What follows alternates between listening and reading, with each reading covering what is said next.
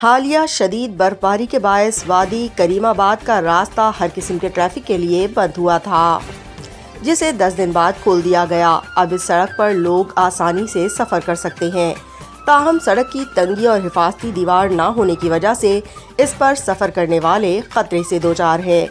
तफसील गुल हमाद फारूकी की इस रिपोर्ट में।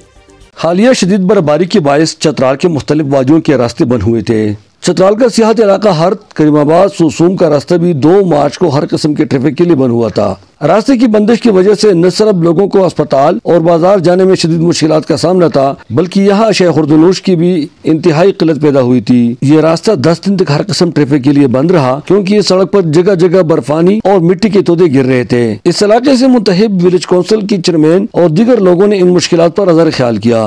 दस दिन बहुत ज़बरदस्त मुश्किल था, ना दवाई मुझे मिला था ना अस्पताल खुला था, ना स्कूल खुला था, ना रोड खुला था, ना लोगों के खाने पीने के लिए क्या बंदोबस्त था? कुछ भी नहीं था हमारे इलाके में।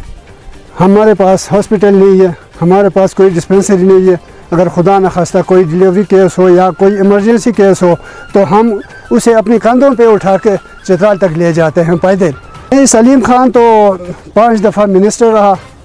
हमारे लिए कुछ भी नहीं किया इधर। ये तो आपके सामने है। अब हम उन, उनके उनसे क्या कहेंगे?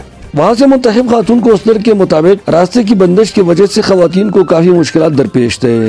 डिलीवरी के वक्त खातन के बहुत मुश्किल होते हैं बहुत ज़्यादा दूर रास्ते हैं ख़राब उन्हें गाड़ी नहीं आती है तो उनको बहुत मुश्किल ज़्यादातर जचा बच्चे के वक्त बच्चे वो हो जाते हैं, मौत हो जाती है खातन की भी इस तरह हो जाती है। विलेज कौंसिल चेयरमैन का कहना है कि वो पैदल जाकर डिप्टी कमिश्नर चित्राल को इन मुश्किल से आगाह किया, जिन्होंने मुख्यमंत्री सी डब्ल्यू के एक सेन को हिदायत की। अब ये रास्ता हर किस्म ट्रैफ़िक के लिए खोल दिया गया।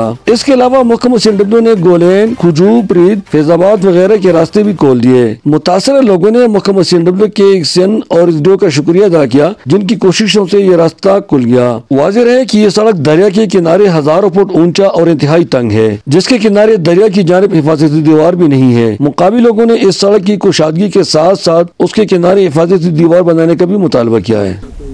दो मार्च को जो करीबाबाद सुसुम और हर्द के इलाके में शदीद बर्फबारी की बायस जो तमाम सड़कें बंद हुई थी आवाम को इंतहाई मुश्किल का सामना था। ताहम सुबह मुकम मौसलात यानी सी डब्ल्यू ने सड़क से बर्फ़ हटाया, इसको ट्रैफ़िक के लिए खोल दिया, मगर फिर भी यहाँ के लोग गुना को मुश्किल से दो चार है अहमदाजुल अनमोल न्यूज़, चतराल।